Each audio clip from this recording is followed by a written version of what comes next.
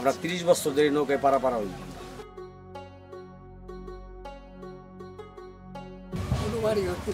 বাড়িঘর ছিল না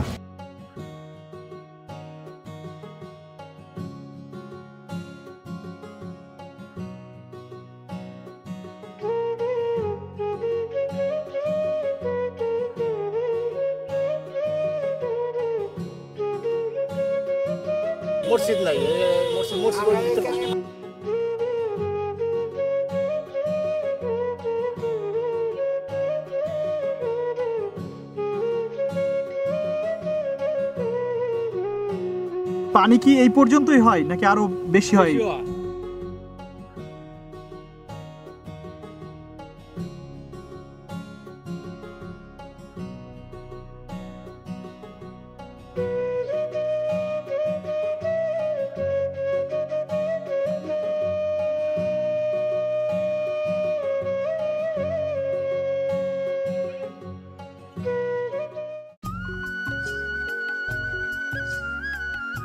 বর্ষাকালে বাংলাদেশের বিল এবং বিলের পাশের গ্রামের সৌন্দর্য এক মনোমুগ্ধকর দৃশ্য।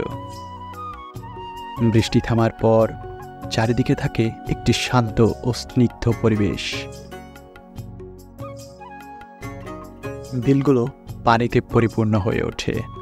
বিলের পাশের গ্রামগুলোতে গ্রামের ঘরবাড়ির চিত্র এক অন্যরকম সৌন্দর্যের প্রতীক। বিলের পাশেই রয়েছে সরু মেঠো পথ, যা কখনো কখনো পানিতে ডুবে যায়।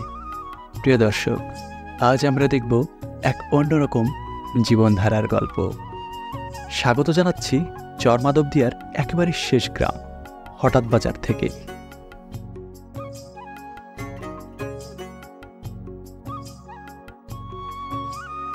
অদূরে অবাক করা নীল আকাশটা যেন ছুঁয়ে দিয়েছে বৃক্ষসারির কাঁকড়া চুলে। ফসল ফলানোর অপেক্ষায় থাকা তৃণভূমি বর্ষার পানির স্বাচ্ছন্দ্য বিচরণ। এই তৃণভূমি, এই দিগন্তজোড়া নীল আকাশ আর বর্ষার স্বচ্ছ পানি ভাগ করে দিয়েছে এখানকার দুটি গ্রামকে। পানি প্রবাহের বিলে ঘেরা এই হঠাৎ বাজার গ্রাম। বর্ষাকালে নৌকাই এই গ্রামের প্রধান বাহন। গ্রামের উত্তরে কাচারিটাক বিল, পূর্বে বাংলার প্রধান তিনটি নদীর একটি, পদ্মা। এটা বিল বললে ভুল হবে না। হঠাৎ বাজার থেকে বেশ দূরে, পদ্মার শাখা নদী থেকে একটি খাল নদ হয়ে বয়ে চলেছে এখানকার গ্রাম জুড়ে। নদী, নদ বা বিল যেটাই বলি না কেন, মাছের অভাব নেই এখানে। জেলেরা ছাড়াও মাছ ধরেন গ্রামের কম বেশি সবাই। মূলত নিজেদের প্রয়োজনেই মাছ ধরেন তারা। আষাঢ়ের নতুন বানের জলে সেখানে ভেসে আসা নানা প্রজাতির মাছ এ গ্রামের মানুষের আমিষের চাহিদার যোগান দেয়। মৌসুম ভেদে মাছ শিকারকে কেউ কেউ পেশা হিসেবে বেছে নিলেও অনেকে পরিবারের মাছের চাহিদা পূরণের জন্য খালে বিলে মাছ শিকার করেন নানা উপায়ে। বিল বেষ্টিত হওয়ায় গ্রামের দৈনন্দিন জীবনও বিল নিয়ন্ত্রিত। এই গ্রামের প্রতিটি মানুষের চলাচলের প্রধান বাহন হচ্ছে নৌকা। বিলের এপার থেকে ওপারে যেতে নৌকায় বিশেষ প্রয়োজন বলেই প্রতিটি বাড়ির ঘাটে একটি দুটি করে নৌকা বাঁধা।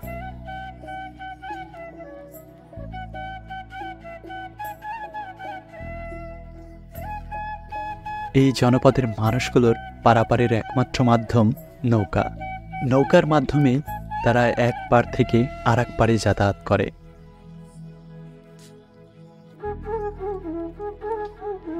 মূলত বাজারে যাওয়া, নিত্য প্রয়োজনীয় জিনিসপত্র কেনাকাটার জন্য নৌকায় পার হয়ে তারা বাজারে যাতায়াত করে।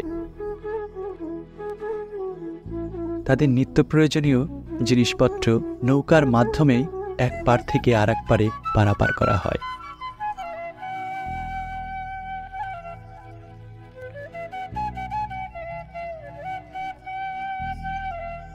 শিশু কিশোর থেকে শুরু করে বৃদ্ধ পর্যন্ত।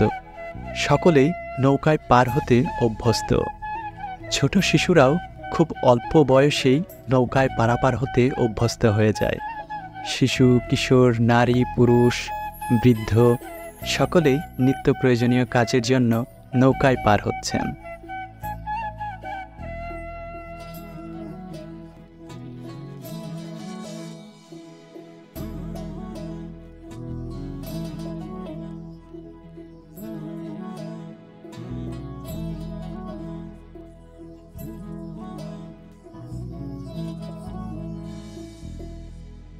কেউ কেউ বাজার সামগ্রী নিয়ে বাসায় ফিরছেন নৌকার মাধ্যমে। এই জনপদের মানুষগুলোর এই নিত্য আসা যাওয়ার মাঝেই ফুটে উঠেছে এক অপরূপ দৃশ্য। বৈচিত্র্যময় এই বাংলার পরিবেশ। বৈচিত্র্যময় এই বাংলা। এই চিরচেনা বাংলার রূপ যেন এক রূপকথার গল্প। যতই দেখি, ততই মুগ্ধ হই। মনে হয় কোনো শিল্পী তার নিপুণ হাতে সাজিয়েছেন এই বাংলাকে। সৃষ্টিকর্তা কতই না মহান, কতই না অপরূপ সুন্দর। এই মহান সৃষ্টিকর্তা কত শত মায়া, মমতা আর ভালোবাসা দিয়ে সাজিয়েছেন এই বাংলাকে।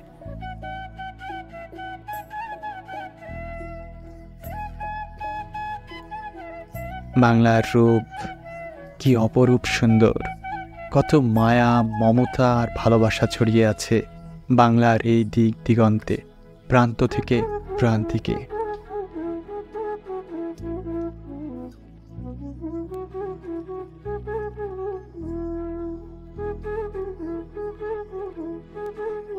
ফরিদপুর শহর হতে আট কিলোমিটার, তালতলা বাজার হতে প্রায় দুই কিলোমিটার উত্তরে এই গ্রাম। এই গ্রামের শিশু কিশোরদের আজন্ম সক্ষতা আছে। বিলের জলে শৈশবের দুরন্তপনা। কৃষিপ্রধান এই হঠাৎ বাজার গ্রামের প্রধান ফসল ধান, ভুট্টা, পেঁয়াজ, রসুন এবং পাট।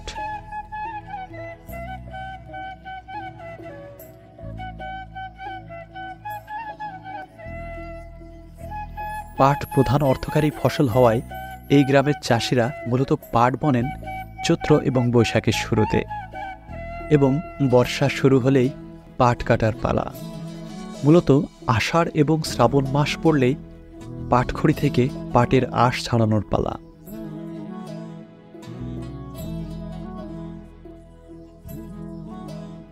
বর্ষাকালে বিলের পানিতে পাটের খড়ি থেকে সোনালি আঁশ, পাট সংগ্রহ একটি প্রচলিত এবং গুরুত্বপূর্ণ কৃষিকাজ।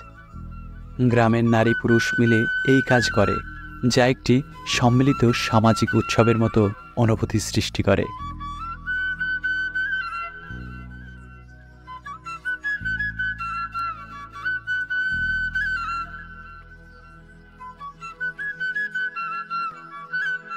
পাট গাছ কাটার পর এগুলোকে একত্র করে বিলের পানিতে ডুবিয়ে রাখা হয়।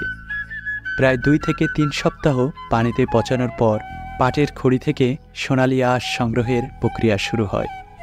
এটা কি পাটের জাগ দিচ্ছেন? হ্যাঁ হ্যাঁ ভাই। পাট কতটুকু ছিল আপনার? আর টোটাল দশ কাটা দশ কাটা ছিল? হ্যাঁ। সব কাটা শেষ? হ্যাঁ। সব কি এখানেই জাগ দিবেন? হ্যাঁ এই জায়গায় যাকে আচ্ছা। এই পানি কি এই পর্যন্তই হয় নাকি আরও বেশি হয়? এর চেয়ে বেশি হয় পানি? বেশি- বেশি হয়। আপনাদের বাসা কোন জায়গায়? ভিতরে ওইখানে কি পানি ওঠে? না না ভিতরে পানি ওঠে না। কতদিন রাখবেন এইভাবে? মোটামুটি পনেরো দিন পনেরো দিন ষোলো দিন। পনেরো ষোলো দিন এইভাবে রাখবেন? হ্যাঁ। আর লাগাইছে যাবি এসে যাব। আচ্ছা। তাতে আপনি একাই কাজ করতেছেন নাকি? না আর লোক লোকজন নাই? কাজ করতেছি। আচ্ছা। এই কাজটি বেশ কষ্টসাধ্য এবং ধৈর্যের দাবি করে কারণ এটি দীর্ঘ সময় ধরে মনোযোগ সহকারে করতে হয়। গ্রামের পুরুষেরা প্রথমে বিলের পানিতে নেমে পাটখড়িগুলোকে তুলে আনে। এরপর তারা পাটখড়ি থেকে আঁশ ছাড়িয়ে নেওয়ার কাজ শুরু করে।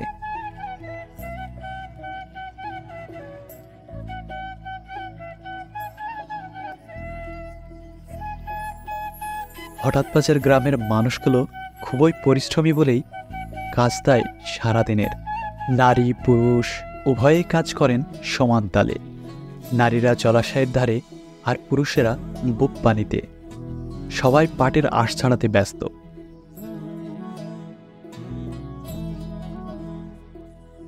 পাটখড়ি থেকে পাট ছাড়ানোর এই কাজগুলো মূলত শ্রমসাধ্য বলেই এই গ্রামের পুরুষেরা মূলত একে অন্যের কাজে সাহায্য করছেন। আবার কেউ বা বিক্রি হয়েছেন সারাদিনের কাজের জন্য। আবার কেউ কেউ পরিবারের কাজ নিজেরাই করছেন।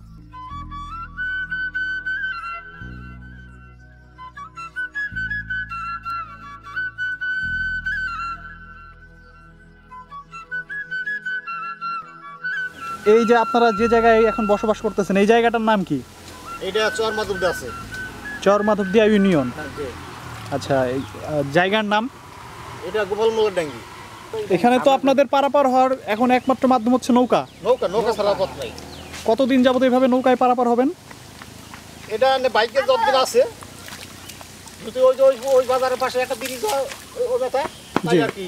মোটামুটি ব্রিজ আসতে পারে। এই পানি শুয়েছে মাসে।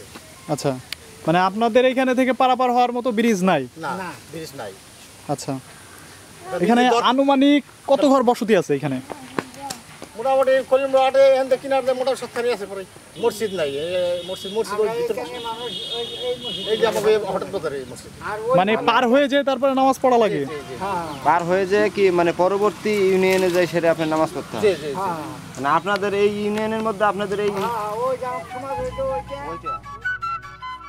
গাছের কাণ্ড থেকে পচে যাওয়া বাকুল আলাদা করার পর অল্প স্রোতের স্বচ্ছ পানিতে ভালোভাবে ধুলেই বেরিয়ে আসে কাঙ্ক্ষিত সোনালি আঁশ। পাট গাছ থেকে পাটের আঁশের পাশাপাশি উপজাত হিসেবে মেলে পাটখড়ি। পাট গাছ থেকে যতটা আঁশ মেলে, তার প্রায় দ্বিগুণ মেলে এই পাটখড়ি। পাটখড়ির সারি সারি পালা বা স্তূপ জানান দেয় পাট প্রধান এই এলাকা।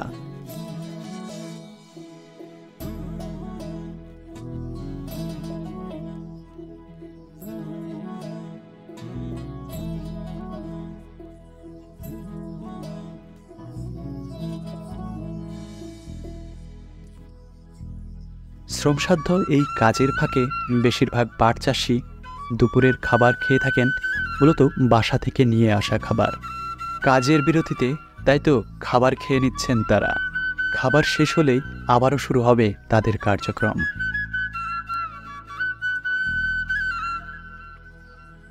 দুপুরের খাবার, কাকা? বাসা থেকে নিয়ে আসছেন? আসছেন কয়টার দিকে? এখানে আসছি হলো সাড়ে সাড়ে ছয়টায়?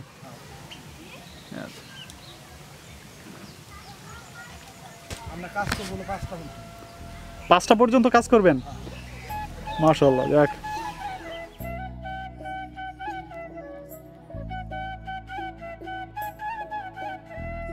জলাশয় পচানো পাটগুলো এভাবে ছাড়িয়ে থাকে এই গ্রামের মা চাচিরা বেশ কয়েকজন জলের ধারে বসে নানা গল্পের মাধ্যমে পাটের কাজ সেরে নেন এভাবেই। অন্যদিকে নারীরা এই পাটের আঁশগুলোকে ধুয়ে পরিষ্কার করে এবং শুকানোর জন্য প্রস্তুত করে। তারা আঁশগুলোকে বিলের পানিতে ভালোভাবে ধুয়ে নিতে সাহায্য করে, যাতে কোনো মাটি বা ময়লা লেগে না থাকে। এরপর এগুলোকে কুলা বা বাঁশের মাচায় তুলে শুকানোর জন্য রেখে দেওয়া হয়।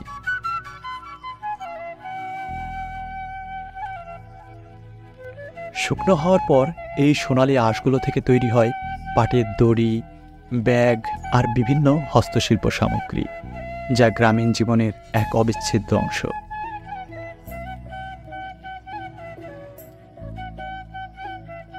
এই শ্রমজীবী মানুষগুলোর পরিশ্রমের মাধ্যমে দেশের অর্থনীতির চাকা ঘুরছে। তাছাড়া এই সোনালী আঁশ দেশের বাইরে রপ্তানি করে প্রচুর পরিমাণে বৈদেশিক মুদ্রা অর্জন করা হয়।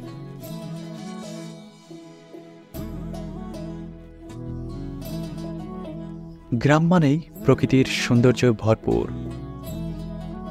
হঠাৎ বাজার গ্রামীণ জীবন বেশ চমৎকার। বিলের পানি এই গ্রামের চারপাশে, পানির উপরে গ্রাম।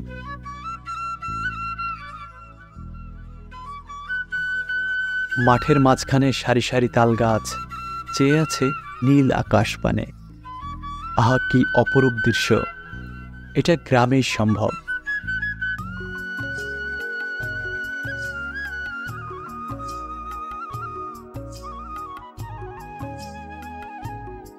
স্নিগ্ধ জল কালচে সবুজ পত্রপল্লব, আর তারই মাঝে এক চিলতে নীল আকাশ। জীবনের চিত্র এঁকে চলেছে অবিরত। খালপাড়ে অজস্র অবহেলায় জন্মানো কচুরিপানা ব্যবহার হচ্ছে গোখাদ্য হিসেবে।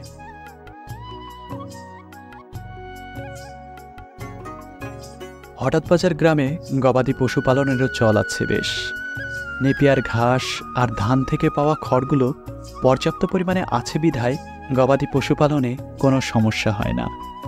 গবাদি পশু বছরের আয়ের উৎস বলেই প্রায় সব বাড়িতেই একটি দুটি করে গরু কিংবা ছাগল পুষে থাকেন।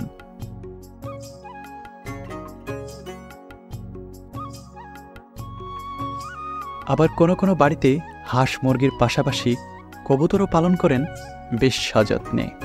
পরিবারের বাড়তি আয়ের উৎস তৈরিতে তারাও যেন পিছিয়ে নেই।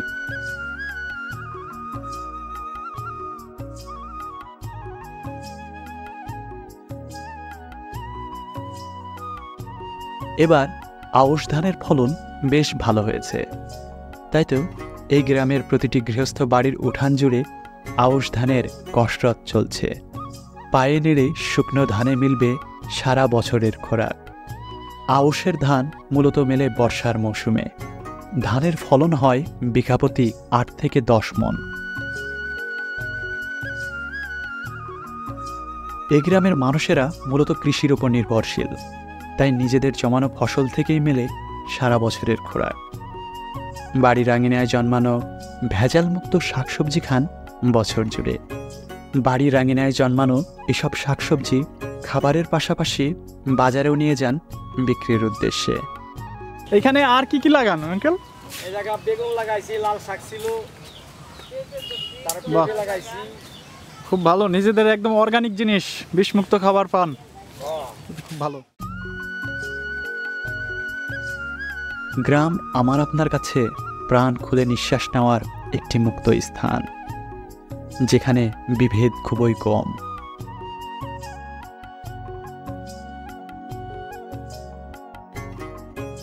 গ্রামের কর্মজীবী মানুষগুলো মাঠের কাজে শ্রম দেন সকাল থেকে সন্ধ্যা পর্যন্ত।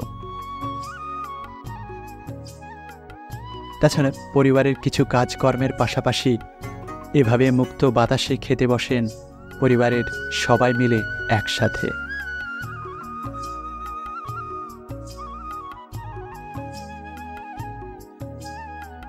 এদের জীবনে ধন, দৌলত টাকা পয়সা অর্থবিত্তের প্রাচুর্য না থাকলেও জীবনধারায় ঐশ্বর্য আছে অফুরান তাদের নিজেদের কর্ম ও পরিশ্রমের জন্যই তৈরি হয়েছে সুখ, সমৃদ্ধ আর অজস্র ভালোবাসা।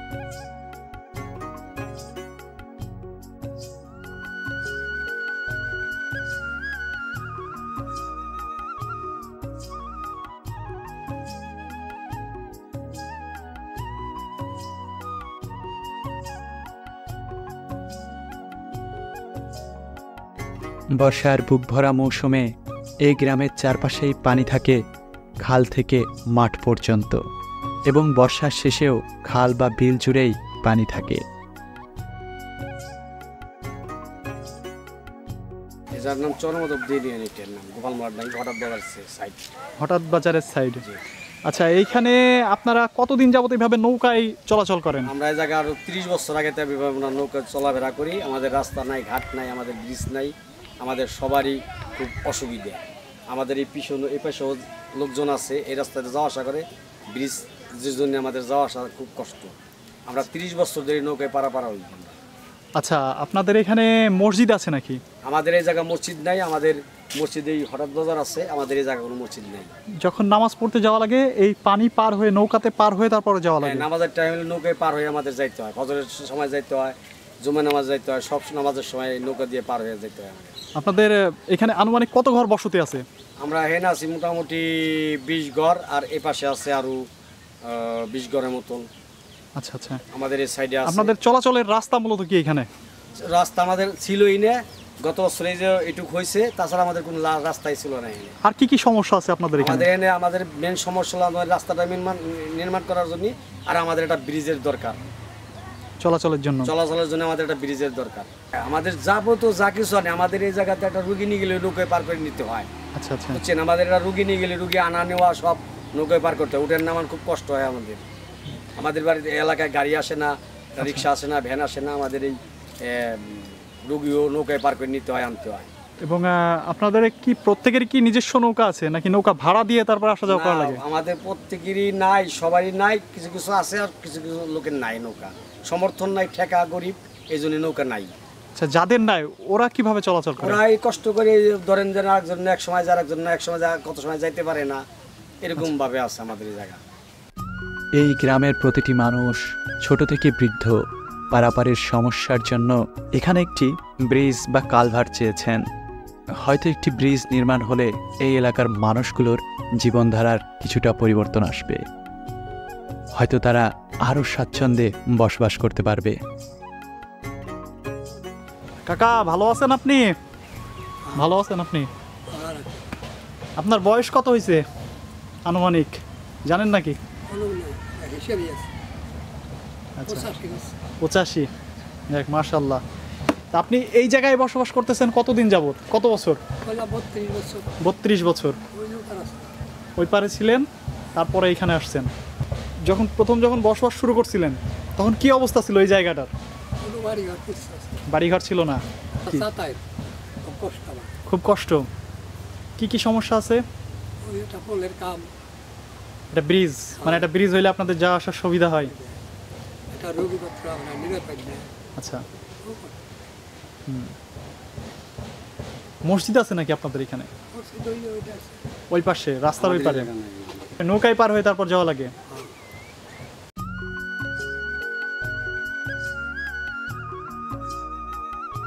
দোদুল দোলার ঝুলনায় ঝুলে প্যান্ডুলামের মতো অবিরত আসা যাওয়া এ মায়ায় আটকে আছে আপনার আমার রঙিন শৈশব। গ্রামের অফুরন্ত ভালোবাসা নিয়ে যখন ঘরে ফিরছি, তখন হঠাৎ বাজারের প্রান্ত সূর্য ডুবি ডুবি করছে। জোয়ার ভাটার দোলাচলে এভাবেই দিন থেকে দিনান্তি বহমান জলে ভাসা হঠাৎ বাজার, এই সুন্দর জীবন।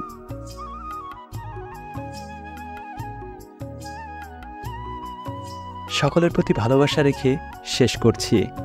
দেখা হবে নতুন কোনো ভিডিওতে। নতুন কোনো বাংলার গ্রাম, রূপ লাবণ্য আর সৌন্দর্য নিয়ে। সবাই ভালো থাকবেন, সুস্থ থাকবেন। আল্লাহ হাফিজ।